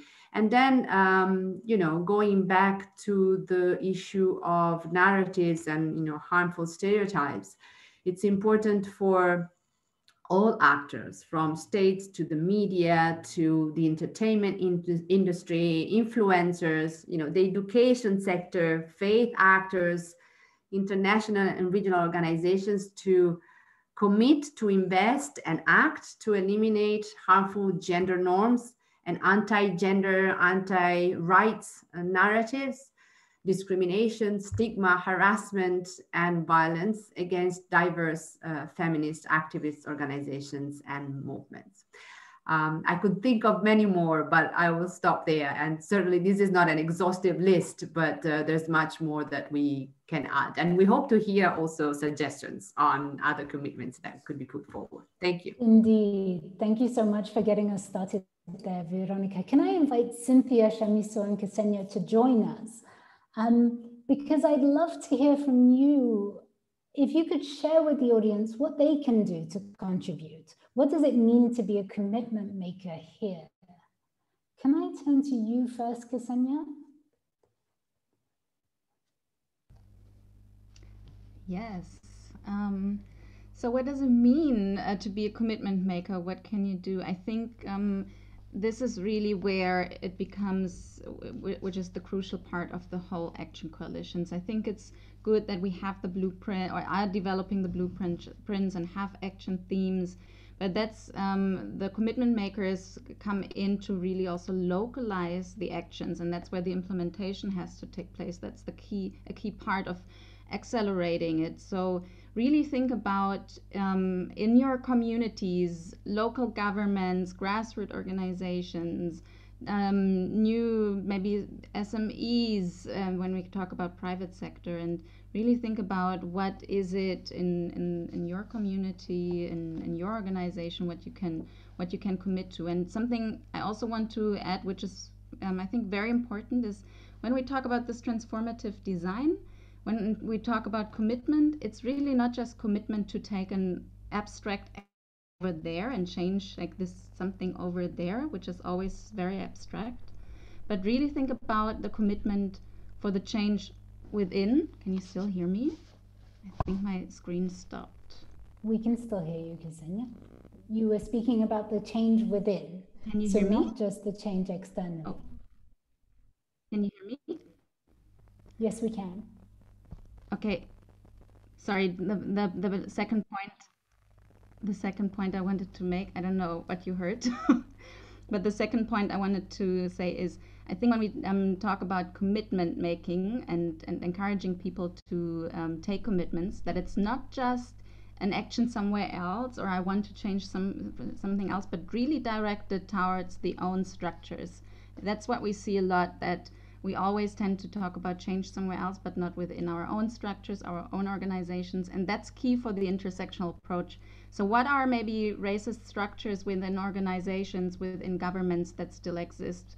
Uh, what are oppressive structures what are what are and that includes the individuals within the um, uh, within the organizations institutions local governments like all of the commitment makers that come in. What are some things that you can maybe learn and what can you unlearn? So maybe some of the commitments are not just action somewhere else but within yourself and your own organizations. That is something i would say. Thanks thank you so much uh, over to you, Shamiso. What would you say in terms of how to be a commitment maker around this action coalition? All right. So I think definitely um, one of the big things that really stands out is, is I guess, um, as a previous speaker termed, self-reflection, right? So institutionally, because we're also coming in not as just as individuals, but as organizations, but to be able to look at our own individual, like institutional policies to see if they are actually feminist policies, right? So the assumption already is that everybody who's sitting in this leadership, um, you know, who's sitting in the AC leadership is actually a feminist, have feminist policies in their organization, but that might not be true. So that's what keeps coming up when people say maybe to unlearn certain things. And I think maybe I've been speaking from a perspective where my assumption is everyone in this actual AC6 is a, has feminist um, policies in place or come from a feminist analysis perspective or from a feminist conceptual framework. So I think maybe in terms of making commitment, we start with ourselves because how do we begin to invest financially or how do we even begin to advocate if we're coming from a point of view where we are actually not on the same page as AC leaders you know? So I think definitely the commitment is towards whether it's investing financially whether it is advocating, you know, for um, feminist policies and laws. It's for us to interrogate and make sure that we are coming from a perspective um, where actually we are advancing feminist policies even within our own structures and in the way that we do work in our organizations, because we cannot talk the talk if we do not walk the talk. So I think that's a big, big element that definitely um, we need to keep in, in mind. Thank you so much, Amisa. And we will be putting up a poll in very soon after we've heard from Cynthia, asking people what commitments they feel they can make from within their institutions. So these points about everybody being able to make a commitment is really important. Cynthia, over to you.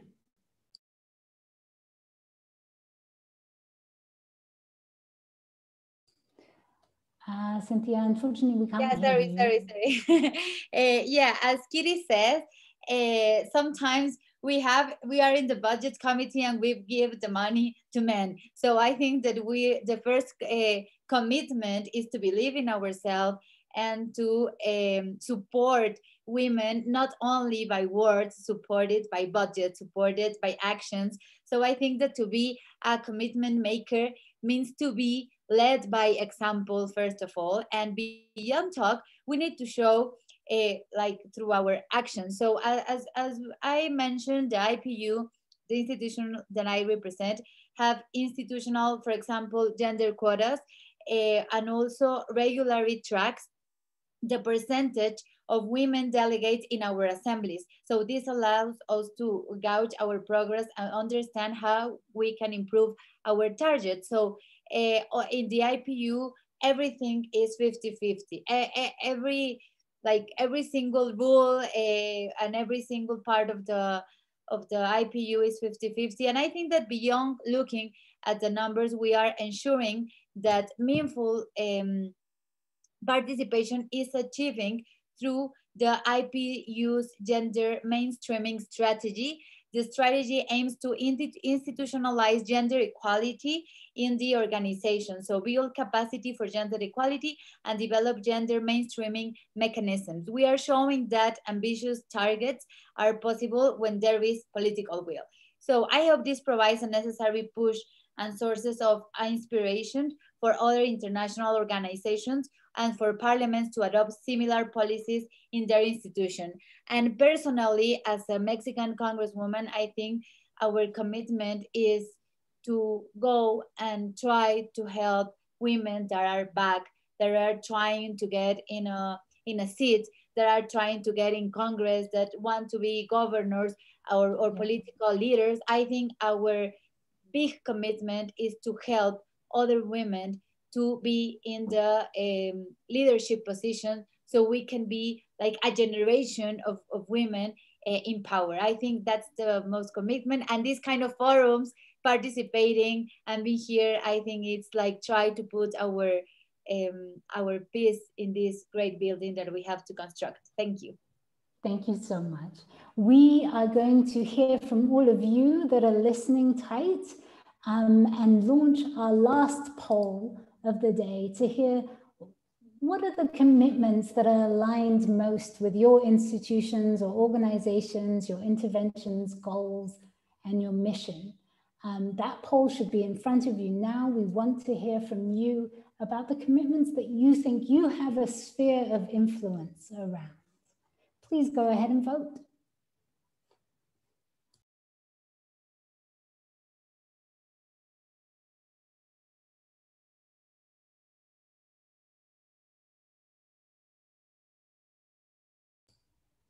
Thank you all for selecting those commitments. If I could see the results now.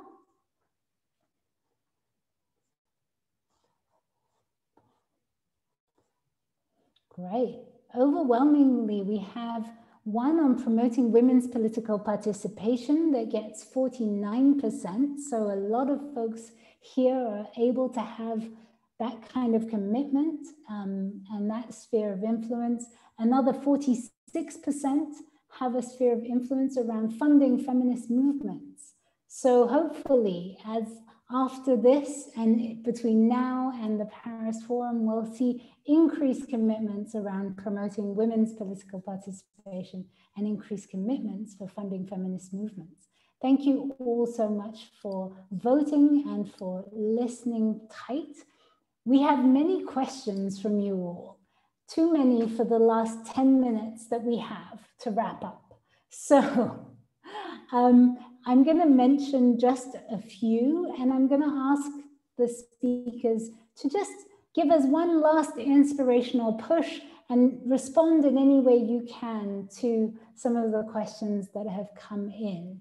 Um, as I mentioned, there was the one question on what would we say that the role of feminist elders who are no longer in leadership positions at this moment.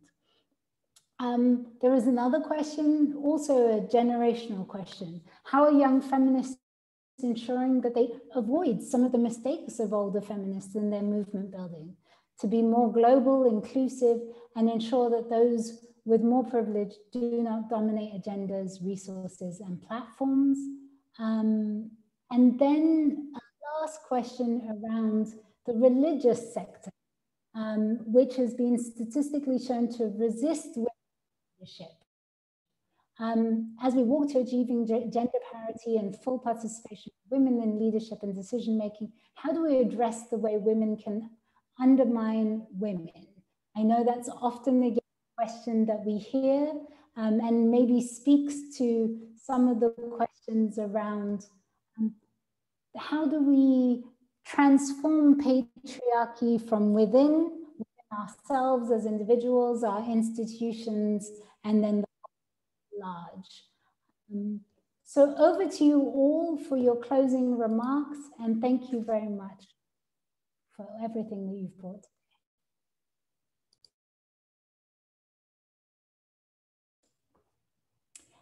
Um, I will call on you as you're shy. So, uh, Xenia, would you like to go first? sure. So, um, maybe I can take the questions for the um, feminist elders, also because I've spoken about young feminist engagement a lot.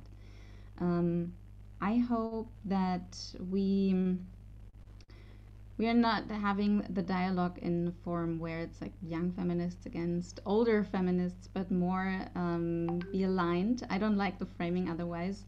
Um, coming from a family that is very feminist, I um, and having many amazing women and in, in former generations, this is a very important topic for me. I think uh, creating community and I think acknowledging the healing that is happening from one generation to another and really having the yeah tapping into this wisdom and knowledge that is embedded also intergenerationally i think that's a very uh, nice thing to do getting a lot of strength from it and i would say leadership is like doesn't have to be a position of leadership. I think that takes space in all time, uh, place in all times, types of forms.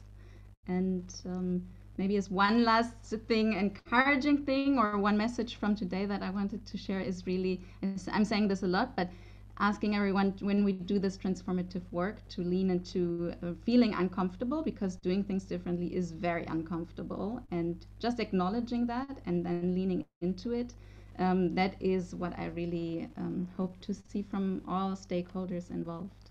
Thank you. Thank and thank you, you for this wonderful moderation, Hakima.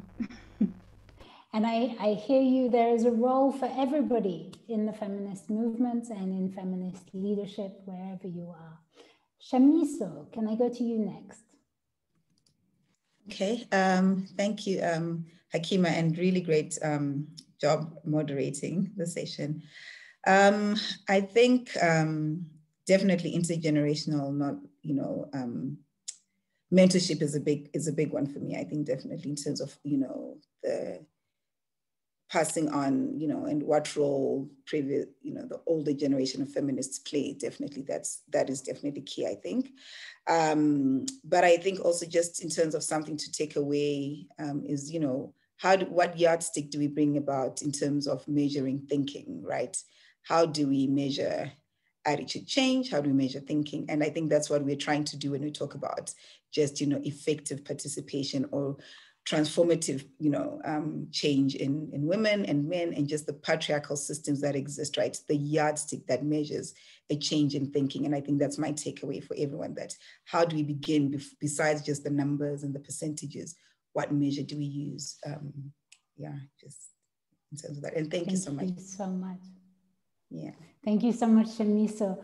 Um, we have very little time left, but can I go to you, Kitty, for your last remarks? Well, Hakima, I could speak for another hour, but I won't. Uh, but let me say something about about the elders because that's a generation that I'm afraid I'm closer to, though I'm young at heart. Um, Look, I, I, I think elder feminists can hopefully be uh, a source of inspiration, can hopefully do the intergenerational coaching that has just been referenced, but it should be very clear that we grew up in a different world. And we need the world of the future of young feminists to be even very different than the world they live in now and their daughters need to live in. 130 years to achieve gender parity is a very long time. So we need to accelerate, we need to go fast. And I think what the elder generation, such as myself, can do, we can't build the future for young people, but we can build young people for their future, enable them, uh, fund them. And so, again, let's make sure that young people that are sometimes differently organized, as was mentioned in network groupings, that the way we enable them, including through our funding, which sometimes is difficult even for me because my fiduciary norms are tough um, but that we enable them to speak, to talk, to take and claim their seat so that they can create and mold the future that they want. And one last word I do believe religious leaders are incredibly important. They're almost exclusively male, but they do hold a lot of power. And the, we have had instances to have behind closed doors incredibly difficult, but incredibly productive conversations around sexual and reproductive health and rights with religious leaders from all walks of life. I, I do believe if we do not invest in religious leaders, it is very difficult to change societal norms. It's slow, it's hard slog, but it's absolutely important. And you know, power to the young and power to the feminists from the South, because without them, the world just won't change. So back to you. Thank you so much, Kitty. Uh, Veronica, and then I will go to Cynthia. Thank you. Thank you very much, Akim. I think my task is easy because a lot has been said. Um, what to say? I think there's no ex expiry date or you know entry into force date for being a feminist, of course. Um, and I think others have said it. Um, it is critical to have uh, an intergenerational dialogue and intergenerational uh, mentorship, especially at this point in time when you know the challenges that we are facing are so important and and and so big And you know, we have uh, talked a lot about the obstacles and, and, the difficulties that the feminist movement and feminist activists are facing uh, today. But um, they are still um, active. Well, we are still active and, and, mobilizing. And according to you know a very recent report by UN Women, since March last year, there have been around 3,000 women-led protests uh, around uh, the world. And this is in spite of you know lockdown measures and uh, risks of infection.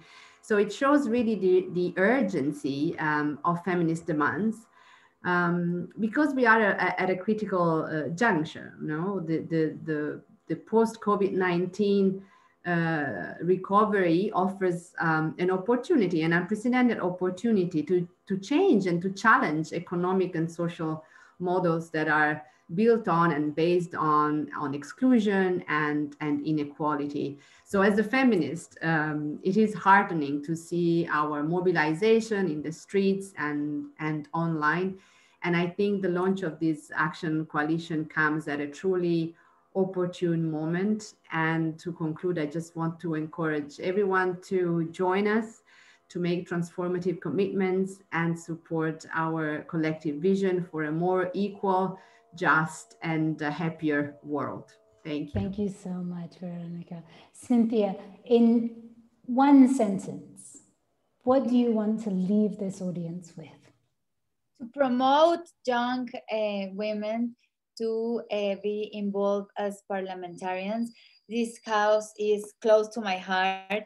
Uh, women and girls have much to contribute to decision making, but having a seat at the table does not come easy, but it's the difference. So I will um, try to uh, said that they need to fight for a seat, they need to be in politics because only we can change the things if we are in the decision making eh, process and in the in the decision making um, seats. If not, it's so difficult to change something. So I think that we need more leaders, we need more women at these seats, at leader positions. So I will say to young women to to begin, I, I, I, as I have told you, I began when I was 21. I'm 34, and it's the fourth time that I am legislator in Mexico. So yes, we can. Yes, we can, mm-hmm.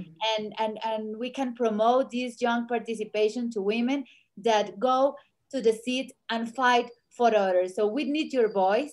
We need it in all the world. And thank you so mm-hmm. much for being in my country, Mexico. I am very happy to receive you, even though it's virtually. Thank you so much. Thank you so much.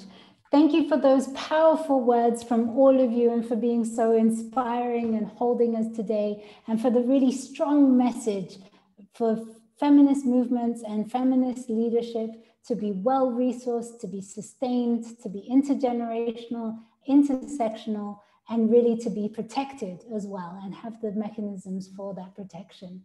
Thank you so much to all of you and to all of the translators who have stuck with us, including the sign interpretation. Thank you to the graphic um, recorder who has made this beautiful image that you see of our conversation. I'm going to pass now back over to Hannah to close us up. Thank you very much, everyone.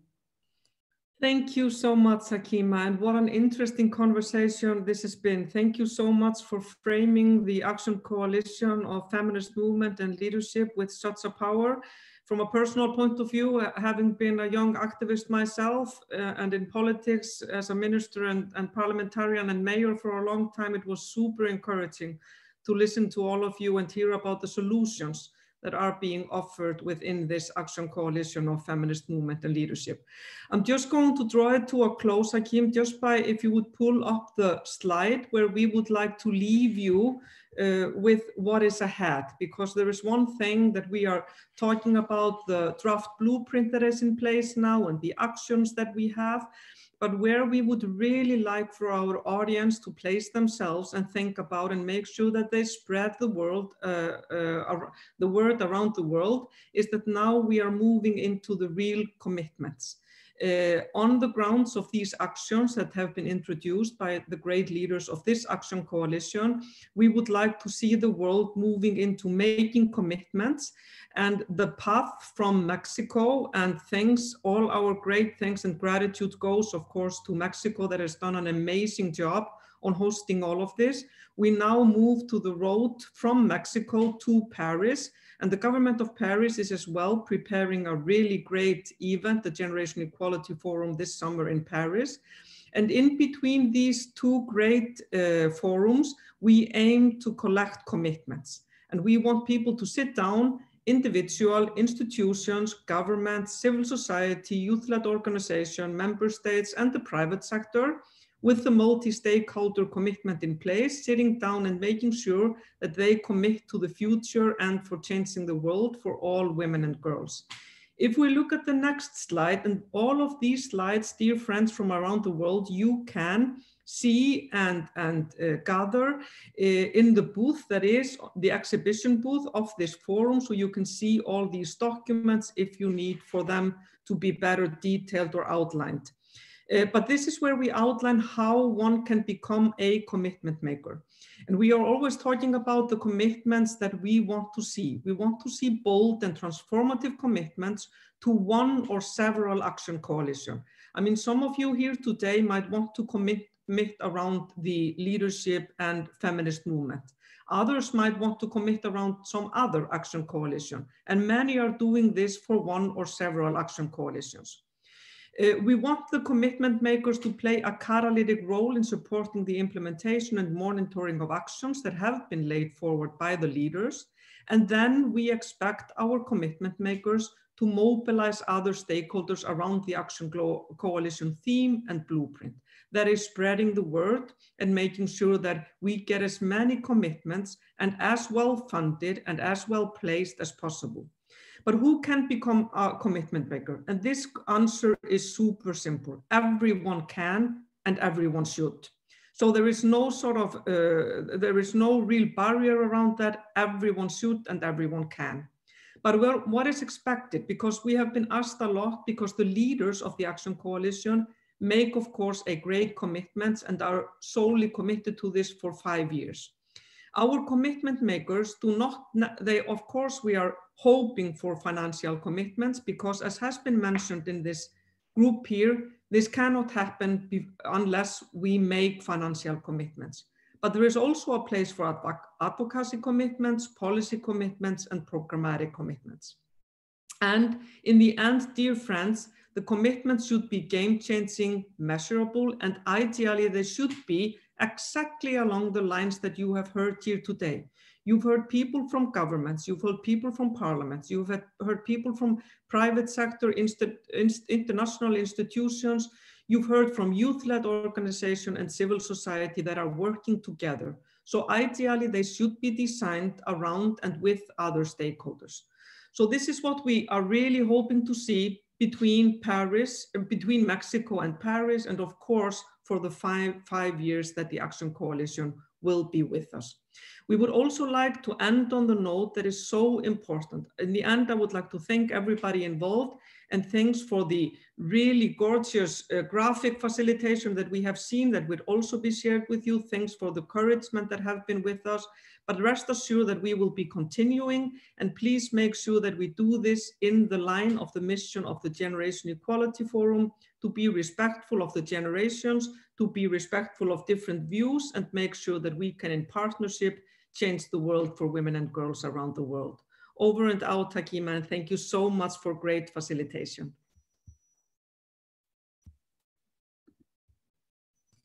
Thank you so much, Hannah, for telling us exactly how to make commitments and what to do next. So thank you all for joining us and staying with us during this hour. Again, thank you to everyone behind the scenes who have made this happen. Um, and thank you all for listening. Goodbye.